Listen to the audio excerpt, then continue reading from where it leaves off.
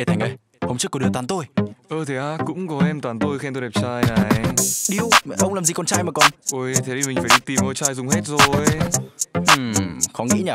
Thôi dùng tiết kiệm vào đấy. Ờ, anh nhớ rồi. Hey. Trai đâu, trai đâu, anh đẹp mẹo hết cả trai Em muốn đi với anh, ngày đi với anh để hết ngày mai. Công an gọi để lấy lời khai, anh không điều chắc chắn anh đẹp mẹo hết cả trai Trai đâu, trai đâu, anh đẹp mẹo hết cả trai Em muốn đi với anh, ngày đi với anh để hết ngày mai. Công an gọi để lấy lời khai, anh không rõ anh làm gì sai Nhưng mà anh biết một điều chắc chắn anh đẹp mẹo hết cả trai yeah. Anh đóng có vét Ở bên túi anh cài hoa, anh mới gặp em vào chiều qua. Nhưng mà hôm nay em đâu còn, anh vẫn cứ nét yeah. uh, Cứ phải gọi là tài ba, anh như tội phạm bị điều tra Bởi mấy chị cảnh sát to tròn Hẹn hò với anh em không cần kín tiếng. Không hiểu tại sao mà lần đầu gặp mà em đã dính liền Là thằng đàn ông. Đương nhiên là anh có cái chính kiến Còn bạn trai cũ của em fuck no. Anh đều tính tiền. Anh vẫn chơi, anh vẫn để nhìn xuống dưới Thế mới khoái Anh đã chơi, anh phải nhìn ở mấy con chóp để anh lại lái. Sơ mi trắng ấy quần đùi hoài Toàn sức hút đến các em gái. Em cố gắng để né đi xa Nhưng khi đi qua cổ em lại sái. Anh không chơi trai nơ Anh không phải sư thầy Con trai ngoài kia em biết.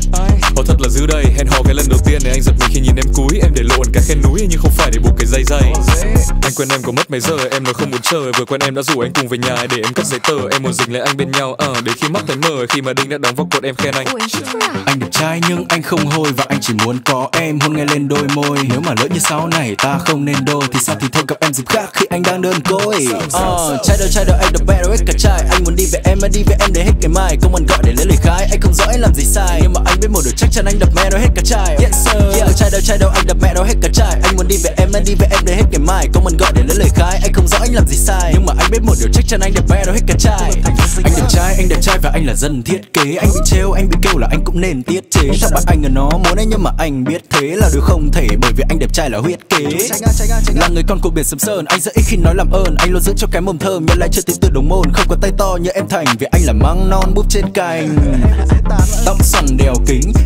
anh theo mãi. Anh biệt danh là keo dính Người ta bảo anh theo lính. Nhưng mà tính của anh lại theo nhà quan kiếm mọi em ghét đây là phang. One, two, three Yeah, I had a plan. Nên cho anh quên đi bao nhiêu âu lo Thì anh vẫn nhớ để có thể kể tên. Hết ra đó là niềm vui đến từ tất cả những món quà. Wait, anh quen em có mất mấy giờ Em nói không muốn chờ. Vừa quen em đã rủ anh cùng về nhà Để em cất giấy tờ. Em muốn dình lại anh bên nhau Ờ để khi mắt thấy mờ Khi mà Đinh đã đóng vào cột em khen anh. Ủa à? Anh đẹp trai nhưng anh không hôi Và anh chỉ muốn có em. Hôn nghe lên đôi môi. Nếu mà lỡ như sau này ta không nên đôi Thì sao thì thôi gặp em dịp khác khi anh đang đơn côi.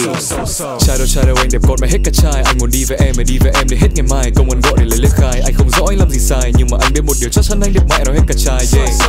Trai đâu trai đâu anh đẹp con mày hết cả trai. Anh muốn đi với em, mày đi với em để hết ngày mai. Công an gọi để lấy lời khai. Anh không rõ anh làm gì sai, Nhưng mà anh biết một điều chắc chắn anh đẹp mẹ nó hết cả trai, yeah.